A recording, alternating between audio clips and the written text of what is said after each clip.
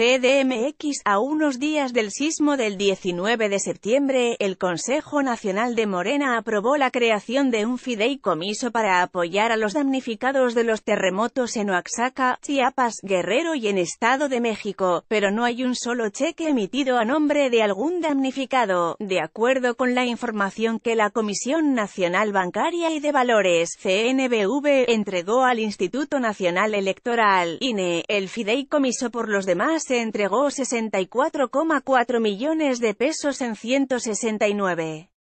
cheques de caja para 74 personas que fueron previamente autorizados por el Comité Técnico, ninguna de las personas que recibieron un cheque está inscrita en el padrón de beneficiarios que realizó la Secretaría de Desarrollo Agrario, Territorial y Urbano, SEDATU, y, por el contrario, 53 de ellos tienen vínculo directo con el partido, entre los beneficiarios que recibieron algún cheque de caja, entre septiembre del 2017 y mayo del